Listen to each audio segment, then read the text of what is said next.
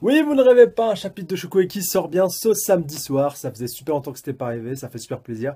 Même si malheureusement, bon, ça c'est pas de la faute des traducteurs, mais le chapitre était vraiment, vraiment, vraiment pas ouf. Bon visionnage quand même.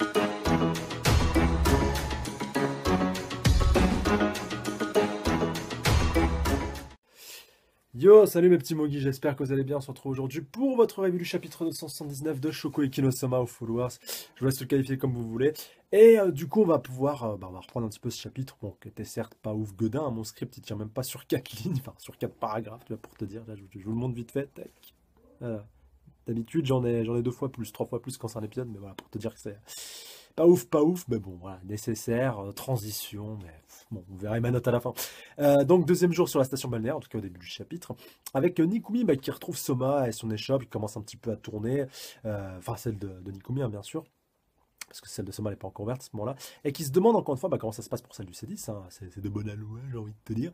Et forcément, bah, c'est compliqué, vu que tout le monde, encore une fois, est débordé, que rien n'est prêt, euh, pire qu'ils se marchent tous dessus, qu'ils doivent se ressaisir, il y a des histoires de prise, là on veut brancher son aspirateur, l'autre sa perceuse, enfin voilà, je te passe les détails.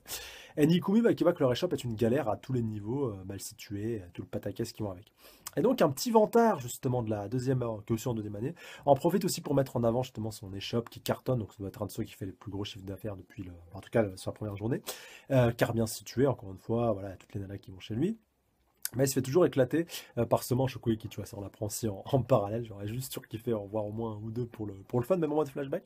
Mais le four, bah lui, il espère les voir échouer en étant viré, tu vois, pour récupérer les places vacantes. Et c'est pas le seul, hein, tu vois, plein d'autres euh, seconde année aussi, tu vois, euh, en mode zéro fierté, en mode on est tellement nul qu'on attend que vous, que vous fassiez virer pour récupérer les, places vacantes. Mais ce qui s'est passé, c'est qu'ils se feront éclater par d'autres, hein, par, là, par Nikumi ou par, ou par les, ceux qui sont en troisième année maintenant. Enfin voilà, il n'y a, y a pas de place pour.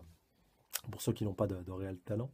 Euh, et Nikumi, qui a bien entendu encore une fois en rage de voir tout ça, justement, d'avoir ce genre de personnes comme camarades, tu vois, qui sont présents à Totsuki, parce que c'est pas du tout, pré- voilà, c'est pas du tout l'esprit Totsuki, ça, on va pas, on va pas se mentir, l'esprit central ou ce que tu veux. Mais cela, justement, fait marrer Soma, bah, parce que mine de rien, encore une fois, le bougre, il a du cran quand même, tu vois, d'affirmer ces, choses-là au effort, donc même s'il se fait éclater à chaque fois, voilà, quoi. Euh, et Soma bah, ne dramatise pas trop car il sait encore une fois que leurs senpai sont aussi passés par là. Donc tu vois que ce soit ceux qui sont actuellement en troisième année ou même les anciens troisième année, tu vois le groupe de Tsukasa ça. Et maintenant bah, c'est leur tour, c'est leur lot vu qu'eux aussi ils sont passés par là qu'ils ont réussi. Et donc bah, voilà, c'est leur tour de montrer qu'ils ont mérité leur place et qu'ils font partie de l'élite et ils ont à cœur de, le démontrer. Et tout le C10 est motivé plus que jamais, puis donc ils vont y retourner, surtout qu'ils ont un plan d'attaque comme le déclare plutôt bien Yama qui semble coordonner un petit peu euh, tout ça, chapeauter tout ça. Puis le troisième jour arrive, tu vois, transition, et c'est le dernier jour pour que le C10 justement fasse son chiffre d'affaires en une seule journée, donc quand même, faut le souligner, et tu vois, bah ça, voilà, il l'avait évoqué des- il y a quelques chapitres, hein, notamment Yama, tu vois, donc ça c'est bel et bien fini. Enfin, ça s'est bel et bien réalisé, pardon. Et donc, ils peuvent enfin ouvrir, donc euh, aux horaires d'ouverture, hein, bien sûr, leur cuisine donc, qui est disposée en triangle, et surtout, encore une fois, Soma, Kurokiba et Aldi, donc ceux qui sont les plus habitués à travailler en resto, hein, tu vois. Alors, Aldi, c'est vrai que j'avais un petit peu zappé, mais ouais, pour le coup, bah, lui aussi, et Soma et Kurokiba, bah, on, le sait de- depuis longtemps. Donc, au fourneau, vu qu'ils ont, euh, sont les plus habitués, ils vont... et ils vont envoyer du steak, hein, pour le coup, comme ils avaient euh, prévenu et averti euh, dans la chapitre précédente, notamment Kurokiba, bah, qui disait qu'il allait envoyer, envoyer, envoyer, envoyer. Et du coup, c'est parti, on a hâte de voir ce que ça va donner dans le prochain chapitre. Et ouais, le chapitre est déjà terminé là-dessus. Il y a quand même eu 19 pages, alors qu'il y a des.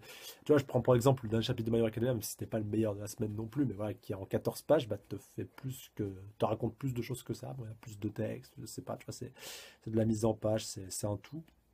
Mais ouais, je t'avoue que c'était quand même un petit peu, euh, un petit peu léger pour ce chapitre-là. Tu vois. On oscille un petit peu entre le moyen-moyen cette semaine, alors euh, tout manga confondu, hein, je précise, entre de très très bons chapitres, très très bons épisodes, et puis des. Enfin, épisodes, non, ouais, tous très très bons épisodes. Franchement, il n'y a pas eu de, pas eu de déception pour l'instant cette semaine. Euh, et chapitres, bah, j'ai eu un petit peu plus de. Pas déçu, mais euh, ouais, je suis, un peu plus resté sur ma fin sur les différents chapitres que j'ai pu lire. Pas tous, bien sûr, ouais, il y a quelques exceptions, comme le dernier Kingdom, qui était très bon. Bah tiens, je vais reprendre les derniers chapitres que, les dernières reviews que je vous ai faites, quoi. Tu vois, sur, les, sur tout ce qui est sorti depuis hier, comme ça, moi, ça sera assez probant. Kingdom, bah, tuerie. Maté Kingdom, lisez Kingdom, c'est du très très bon d'ailleurs. Les premiers tomes sont enfin sortis euh, dans les librairies. Alors, il y en a certains, bah, enfin, ceux qui avaient commandé en ligne, désolé. Euh, vous avez pu euh, donc euh, bah, voilà, les avoir depuis un petit moment, mais en tout cas, ils sont vraiment sortis en librairie ces derniers jours. Il y aura deux tomes qui sortiront par mois, donc c'est maintenant ou jamais si tu veux commencer à, à t'y mettre, parce que sinon après bah, tu vas être débordé, tu vas, tu vas crouler sous le, nombre de tomes que, tu devrais rattraper, parce qu'on a déjà 55 au Japon, hein, mine de rien, et c'est loin d'être terminé. Attaquer maintenant, c'est quoi? C'est 14 balles par mois. C'est, ton forfait téléphonique, tu entre guillemets. Bah, voilà, tu mets un petit peu de sous de côté, voilà, c'est un bon investissement, t'inquiète pas, ça c'est l'investissement à vie, tu pourras, tu pourras même le filer à tes gamins et tout, et franchement, superbement bien réalisé. Encore une fois, merci, les éditions Meyane.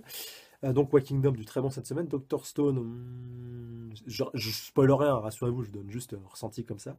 Un peu, ouais, ouais, ouais, ouais, ouais, ouais, ouais, ouais, ça s'est bien terminé, mais euh, c'était un petit peu longuet.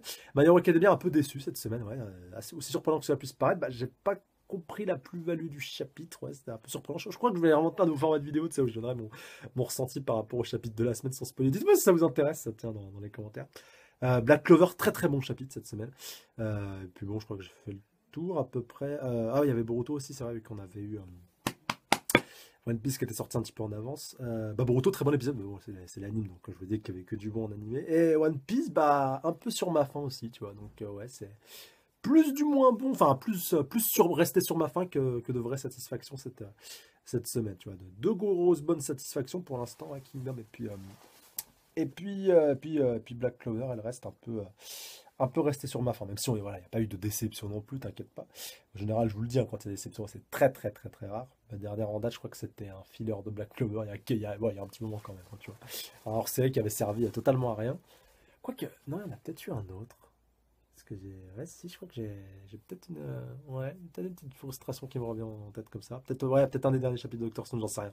Enfin bref, en tout cas, voilà, c'était pas mal, mais voilà, pour le coup, bah, on n'a pas vu rien du chapitre, merde! Enfin, un moment, il y a, y a, de l'abus, faut, faut, pas déconner. Enfin voilà, faut quand même faire un minimum. Surtout ce qu'on avait eu, euh, surtout vu ce qu'on a eu, pardon, encore une fois, la fin du chapitre précédent, on n'a pas revu Suzuki, on a pas. Oh, putain, plus 42 commentaires, vous êtes débranés. On voulait que je reprenne ça, punaise. Bande de fifous. Allez, c'est parti pour la session commentaire. Allez, eh ben on est parti pour la petite session drama. Attention, les lumières vont se tamiser, quoique. Ouais, je vais faire un petit truc en plus. C'est parti. Ouais, voilà, bon, bah désolé, hein, je peux pas faire beaucoup de trucs de plus niveau montage, mais voilà. Chaque semaine, euh, pour. Euh, enfin, en tout cas, si ouais, s'il fait nuit, euh, pour le coup, ce sera plus pratique de faire ça. Mais en tout cas, j'essaierai de, mettre cette lumière-là quand on partira dans la partie commentaire de la quatrième dimension de Shokugeki de Nosoma. Donc je vais reciter un commentaire. Alors aussi étonnant que ça puisse paraître, c'est pas notre euh, faiseur de pavés préféré euh, qui, en est l'auteur. Je l'ai pas encore lu. Je, vais, vous le lire parce que vous avez beaucoup réagi à ça, donc ça va être assez intéressant. En même temps, vous allez voir ma réaction euh, par rapport à ça. À mon avis, ça, va être pas mal parce que je, connais un petit peu les a priori de, la personne qui l'a rédigé vis-à-vis des retours qu'il avait fait les semaines précédentes. Donc voilà, je vais vous lire ça vite fait. Chapitre catastrophique une nouvelle fois et c'est triste de rester encore une fois uniquement sur les couples. Voilà, vous voyez un petit peu la, tendance. Euh, sincèrement, on s'en tape des couples. Ouais. Euh, ça devrait être la finalité et pas constituer un arc tout entier. Suzuki machin est là pour Erina et Xomar. Rien d'autre. Son background est tiède. Il rend l'histoire monotone. D'ailleurs, ses sbires juste une façon de faire briller certains personnages sans trop se fouler. Ben, on n'a pas trop eu ces sbires, donc c'est un peu dur de. Enfin, ouais, c'est un peu compliqué de déjà juger. Euh, alors qu'on les a pas vus, quoi. Il y en a juste un qui capture Irina, quoi. La narration, le rythme, tout est douteux. On s'emmerde pour parler cru et pour quelqu'un comme moi qui trouve Irina et Soma mal branlés dans leur évolution. Euh, qu'est-ce que j'en ai à foutre de leur relation? Je vais encore sortir les mêmes arguments, mais on y est obligé.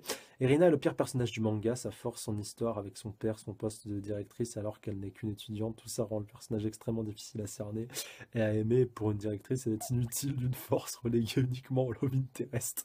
inutile de ce manga qui est en train de devenir assez mauvais, même si c'est un peu le cas depuis le régiment de cuisine et plus précisément depuis la victoire inacceptable dans la forme comme dans la manière des deux héros sur Tsukasa et Rino, car je suis désolé, mais en tant que lecteur, tu ne peux pas accepter ce cheminement, ces explications sorties du trou du cul du monde. des, cala ah, des calamars, what the fuck, les plats de, euh, ouais, des antagonistes étaient bien meilleurs et surtout euh, mieux narrés. Antagoniste, hein, pas antagonisme, après peut-être c'est ton correcteur. En somme, entre euh, inulité, J'aurais pu mettre nullité. Ouais, oui, nullité. Ah ouais, ouais, ouais, inutile, mais t'aurais pu mettre nullité. Hein. Et surtout prévisibilité. Enfin, je pense pas ce que tu dis, hein, mais je, vais dans ton, sens. Et surtout prévisibilité, putain, c'est vraiment dur à dire ça. Mal amené surtout qui n'a rien à foutre dans un arc de cette manière. Encore une fois, comme finalité, je veux bien. Et ouais, ça se termine là-dessus. Bon, après, il y a eu pas mal de petites réactions. Bon, je vais pas te faire un pavé de 40 km. Encore une fois, je vais me répéter, certes, mais ça fait des semaines aussi que je le répète aussi. Qu'est-ce que Saiba nous a appris à la fin du Shokugeki régimental dans son flashback? Que ce qu'il avait fait revenir à la raison quand il était passé en mode Ashura, qu'il avait pété un câble dans le désert des saveurs. Je ne sais pas pourquoi je parle comme ça. C'était quoi? Je vous laisse le dire derrière votre écran parce que vous commencez à le savoir depuis des semaines. Je laisse un petit blanc quand même pour le temps que vous répondiez. Je vous laisse répondre en commentaire, comme ça on va voir ceux qui vont jouer le jeu. Il a rencontré la mère d'Osoma. Bon, certes, il s'est barré aux États-Unis, il s'est barré très très loin, il a découvert le monde, mais qu'est-ce qui lui a fait retrouver ce goût, ce panache pour la cuisine? C'est la personne pour qui il voulait cuisiner, il a cuisiné, à qui il a fait un gosse, qu'il a aimé, et qui a fait de lui l'homme qu'il est aujourd'hui. Donc un homme neuf, un homme nouveau, euh, un adulte responsable aussi en soi, et surtout un chef euh, accompli. Alors certes, il, avait déjà la base, il était plutôt déjà bien parti un petit peu avant, tu vois, avant même qu'il devienne Ashura et tout, mais ça a été une étape nécessaire dans sa vie. Et Saiba pense, alors encore une fois on est dans la théorie euh, par rapport à cet aspect-là, mais voilà, je continue sur cette théorie-là, de toute façon je suis un peu obligé vis-à-vis de, de, cet aspect-là, parce que je vois pas d'autre justification que ça, de toute manière je pense pas que Saiba pensait que c'était le bon moment aussi pour Soma de, franchir un cap pour Soma et pour Irina. Je pense aussi qu'il inclut Irina là-dedans parce qu'il a quand même eu une certaine importance pour elle quand elle était jeune. J'en ai vraiment marre de me répéter. Putain, c'est de la paraphrase, mais je te jure que tu reprends les sessions commentaires des semaines précédentes, c'est exactement la même chose que je dis. Euh, voilà, bon, je pas, pour ça que je vais pas faire sans temps là-dessus, mais voilà, c'est ça.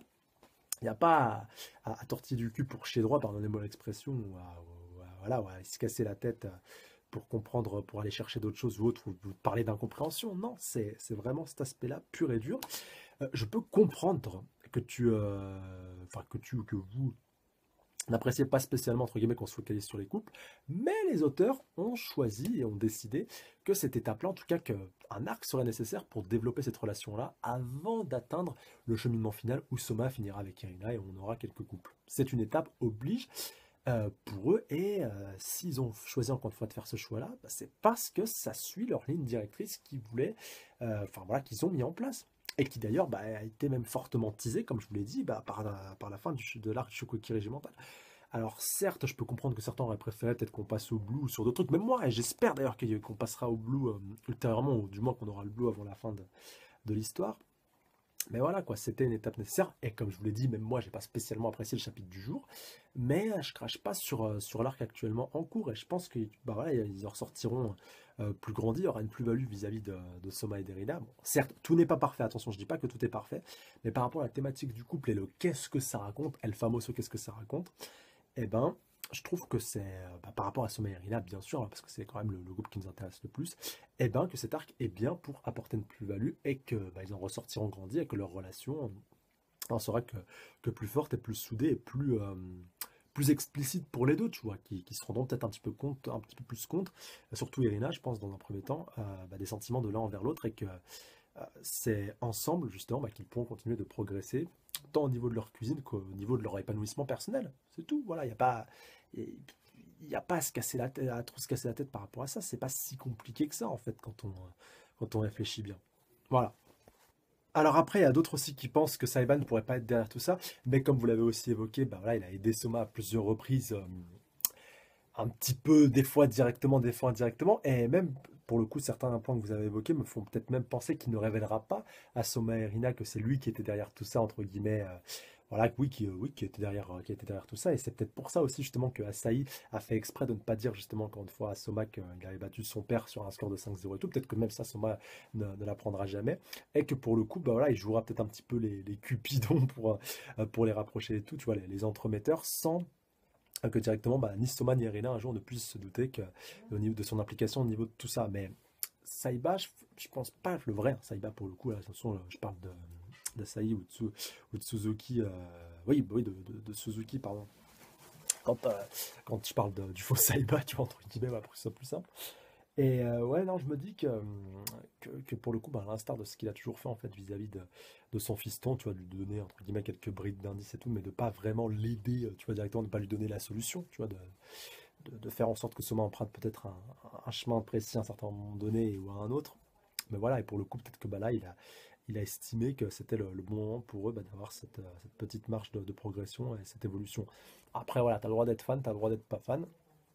Mais il faut, attendre de voir justement où est-ce que tout, cela va amener nos, héros, quelle sera justement la plus-value à la sortie de cet arc-là, même hors Love Story, hors rapprochement, est-ce qu'il y aura une, vraie plus-value euh, pour euh, un futur arc ultérieur, un futur arc ultérieur et même pour la finalité? Est-ce qu'il va y avoir un passage oblige euh, dans cet arc-là qui sera absolument nécessaire pour de, futures échéances, peut-être peut pour le Blue, hein, ça se trouve, voilà, on n'en sait pas encore. Ça aussi, ça va être super intéressant à voir en temps et donc soyez patients par rapport à tout ça. Maybe patient, my friends, comme je vous le dis toujours. Et pour le coup, un point intéressant qui a été soulevé, c'est vrai que ça fait aussi penser à l'enlèvement de Hinata dans Naruto. Alors, dans le film The Last, pour ceux qui, se demandent quoi, Hinata, quand est-ce qu'elle s'est fait capturer C'est vrai que, bah, ça avait bah, permis, parce que c'est là vraiment que le Naruina s'est vraiment développé. Bon, il avait été développé dans Naruto et dans Shippuden, bien sûr, un petit peu avant, il y avait eu quelques petits prémices, mais c'est là vraiment qu'il y a eu une vraie évolution pour, euh, les persos. Et pour le coup, bah, peut-être que là aussi, euh, euh, les auteurs, bah, voilà, ont légitimé ou pensé justement qu'on voit que le coup de l'enlèvement pourrait être pas mal justement pour pour rapprocher nos, persos. Et tu vois, bah, ça, va, ça va un petit peu plus dans la direction de ce que je disais tout à l'heure, comme quoi bah, peut-être que Saiba ou, voilà, ou que Soma Irina ne saurait jamais que c'était Saiba qui pourrait être derrière tout ça, entre guillemets, quelque part d'un côté. Euh, tant mieux, puis du coup Suzuki après euh, s'effacerait de leur vie, ne le reverrait jamais, euh, après qu'il perdrait face à Soma. Enfin voilà, tu vois, je ne veux pas trop de soucis par rapport à cet aspect-là, ça aussi, ça va être pas mal, même si c'est vrai que ça peut paraître un petit peu tordu le coup de l'enlèvement, mais voilà, je pense pas qu'il va arriver de, de mauvaises choses à Irina, mais au moins déjà le fait qu'il y ait un enlèvement, nous prouve que Suzuki n'a aucun vrai sentiment pour, bah, Irina. Et pour le coup, bah, ça confirme encore un petit peu plus cette petite théorie comme quoi bah, Saiba serait derrière tout ça. Quoi. Ou alors à moins que, que soit un vrai détraqué, qui soit peut-être au service d'Azami, mais, ça me paraît vraiment, ça me paraîtrait vraiment très très peu probable ça pour le coup. Mais bon, sait-on jamais Parce que là, on est vraiment, on arrive à des points où, presque tout peut être envisageable dans, dans cet arc-là. On finit avec vos notes. Alors, euh, pour euh, les notes, la de note à vous s'élève à 13 pour ce chapitre. C'est vrai que j'avais pas mis de, notes pour le chapitre la, semaine dernière. Euh, alors, oh putain, c'est chaud, c'est chaud, c'est chaud. Bah, je vais quand même renoter celui de la semaine dernière. Hmm, bah, il était déjà mieux que celui de cette semaine, on va pas se mentir avec l'enlèvement. Ouais, si, je l'avais quand même bien apprécié. Je, l'aurais mis un beau 17, tu vois, pour le coup. La moyenne était, très, était de 13, parce qu'il y a certaines personnes. Mais bon, il faut aussi prendre toutes ces notes en compte. Hein, voilà, on est dans la subjectivité et il faut aussi respecter que certains n'apprécient pas des masses. Et pour le coup, bah, voilà, font aussi l'effort de, de, noter, entre guillemets, euh, voilà, de pas mettre un zéro, entre guillemets, parce que voilà, ça, ça les a totalement débectés. Mais voilà, au moins, ça passe à peu près. Euh, du coup, ouais, moi, j'avais dit, je dis quoi, je dis 17. Ouais, c'est ouais, un, beau 17 pour la semaine dernière. Pour cette semaine, quand même, on n'avance pas des masses. Hein un 11 et encore, euh, voilà, je, me tâtais entre 9 et 11, tu vois. Donc, euh, mais bon, ça mérite pas non plus quand même en dessous de la moyenne, mais voilà, on n'a pas que c'est dur sans ans non plus, des petits chapitres où il n'y a même pas de plus-value. Et en plus, on n'avait pas vu Suzuki ni Erina, quoi. Bon, je sais que voilà, elle s'est fait enlever tout la fin de chapitre précédent, tout ça, tout ça, mais là, faut donner un petit peu de, un petit peu de poivre à moudre, parce que sinon, eh on va vraiment, vraiment se faire chier, tu vois. Et ceux, qui, qui, en plus de ça, ne sont pas spécialement à fond dans le mood par rapport à l'Australie et tout, je pense qu'ils vont encore plus détester ce chapitre. Donc là, vraiment, petite pensée pour vous, les, euh, les gars. Ouais, j'espère quand même que ça vous aura plu, ou du moins que la vidéo vous aura plu, aurait pu être euh, intéressante pour vous. Je vous dis avec beaucoup d'impatience, bah, rendez-vous à, la semaine prochaine. Euh, d'ici là, restez connectés, on a encore beaucoup de chapitres, d'épisodes, et tout est D'ici la prochaine, salut à tous. Ça là.